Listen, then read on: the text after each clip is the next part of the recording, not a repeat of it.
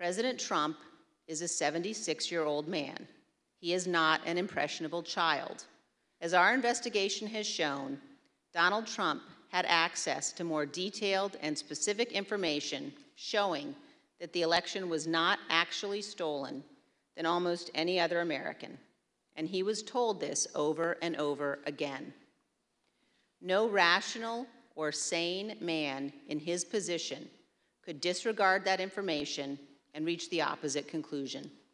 And Donald Trump cannot escape responsibility by being willfully blind.